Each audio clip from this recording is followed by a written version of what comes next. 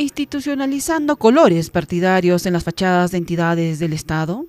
De rojo y blanco se verán las paredes de los exteriores de la comuna Huanca, a pesar de no contar con la autorización de la Dirección Desconcentrada de Cultura y sin el estudio estratigráfico de color que indique el cambio de tonalidad del pintado. Estamos ante una intervención en consulta, no hay ninguna autorización por parte del Ministerio de Cultura, es un mandato que tiene la municipalidad justamente preservar la zona monumental.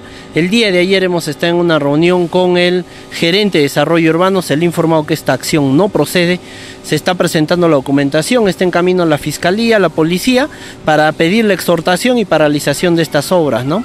Que están usando recursos del Estado en una acción inconsulta yo lo considero una provocación incluso a la ciudadanía de Huancayo, ¿no? Que, que se esté cambiando este, los colores eh, de nuestra institución, del color rojo, afectando realmente el ornato cultural que tiene pues la municipalidad. En horas del mediodía se dio inicio al cambio de color de la infraestructura, según señalaron los trabajadores de color rojo teja. El gerente de desarrollo urbano señaló desconocer el cambio de colores en el pintado que se realiza en exteriores de la Municipalidad Provincial de Huancayo. Esto se está llevando a cabo, ¿no? Pero si no hay ninguna autorización ni yo no, yo no coordino lo que es elaboración de pintura, pero eso ya se les dirá. Ahorita justo estoy saliendo con el personal a hacer la verificación en campo. Nombrado como gerente de desarrollo urbano, dice que no tiene conocimiento de lo, del trabajo que están realizando y que él solamente dio una orden que se pinte el color blanco. Entonces aquí en realidad te llama mucho la atención, ¿no? Porque, o sea, cualquier persona puede ponerse a pintar la fachada y sin que nadie se entere, sin que nadie se dé cuenta. El director José Rivadeneira de la Dirección Desconcentrada de Cultura y algunos regidores de oposición mostraron su indignación ante este pintado. Es que por ley, ¿no? La, la norma A140 establece que tiene que haber un estudio estatigráfico de color para que la intervención tenga la pertinencia técnica e histórica. Esa documentación ha sido solicitada desde inicios de año, reiteradamente. No les ha dado la gana de generar la investigación suficiente y presentar la propuesta. Como no han presentado la propuesta, entonces proceden ¿no? de manera abrupta a generar este tipo de intervención, vulnerando la Ley General de Patrimonio Cultural. Nos ha tomado con sorpresa esto.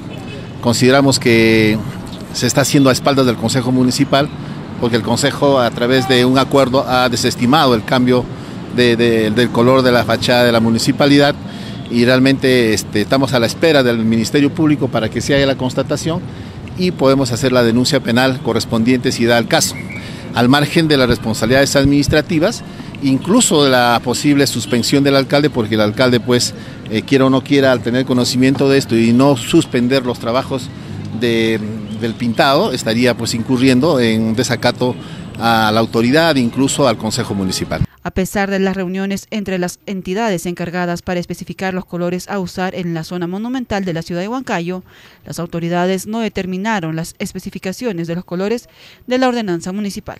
Nosotros en Consejo Municipal hemos este, aprobado una ordenanza municipal para para poder pintar no solamente la municipalidad, sino los edificios también del casco, que pertenece a la parte monumental, con los colores tradicionales del color rojo.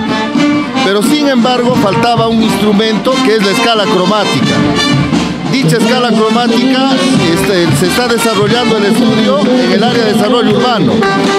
Si a la fecha todavía no tengo conocimiento que haya sido entregado ese documento para poder este, operativizar y llevar a la, parte operativa la ordenanza. Ahora no, en realidad no tengo conocimiento si la municipalidad de Huancayo se está pintando de color rojo, pero sería bueno que el alcalde aclare esta situación. Meses atrás el mismo actuar se tuvo en la fachada del gobierno regional de Junín, dejando de lado la opinión y denuncia de la Dirección Desconcentrada de Cultura sobre el cambio de color en el pintado. La investigación del caso demorará nueve meses y la determinación de la sanción podría elevarse a mil soles para estas entidades. El proceso administrativo de sanción tiene un tiempo. Ahora, de salir efectiva la sanción, ¿quiénes van a ser los que van a pagar? La población, porque son con los recursos de la gente que se va a tener que asumir. Depende de cómo se esté estimando. Nosotros ya hemos hecho todo el proceso instructivo, entonces para la sanción se deriva a la sede, pero va entre 0,25 UITs hasta 1000 UITs. ¿no? Estamos haciendo justamente el acta porque justamente no pueden ir por encima del Consejo Municipal ¿no? Se tienen que respetar las instancias pertinentes y para que ellos puedan hacer este cambiado se ha debido de coordinar con el INC, el Ministerio de Cultura, con la comisión y llevarlo a pleno para que el pleno pueda aprobarlo.